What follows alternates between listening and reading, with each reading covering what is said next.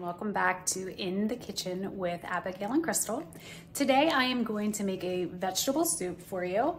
It is a chilly day today, so I am excited to get this going. This can be cooked in the slow cooker, or this may be cooked in an Instant Pot.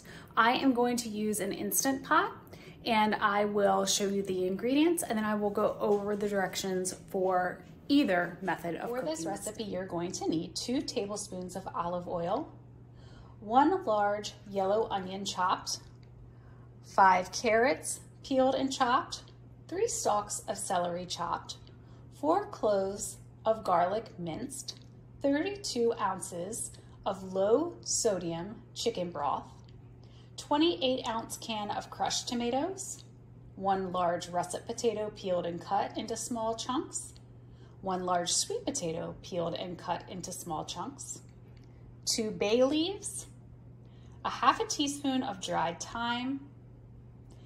I am then going to use about one cup of frozen peas and one and a quarter cups frozen or fresh corn. I'm going to use the canned corn. First step after preparing your vegetables is to add the oil over medium-high heat in a large skillet. You're gonna wanna then add the onions, carrots, and celery and saute until the vegetables are soft. This should take about five to seven minutes. After that, you're gonna add the garlic and saute for one minute more.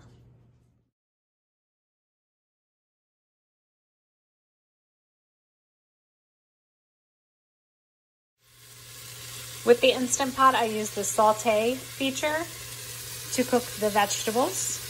I have now shut it off as I have done the five to seven minutes with the onions, carrot, and celery. Then I did the additional one minute with the garlic.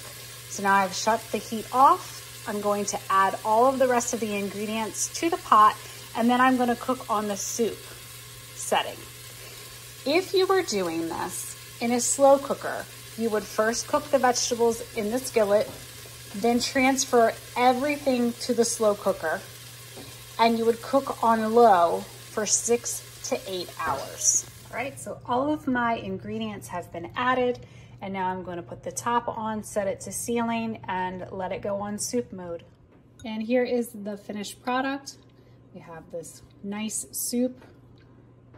I have a bread on the side to pair with it and a salad.